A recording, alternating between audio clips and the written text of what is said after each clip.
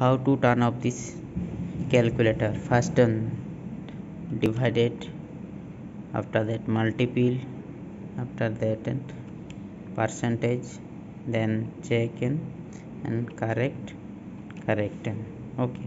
After that it will be uh, switch off but my divided and bottom is not working. That that's why it is not um, switch off. But actually system is this. First divide multiple percent check and correct correct. Okay i think you have to got this point how to turn off thank you friend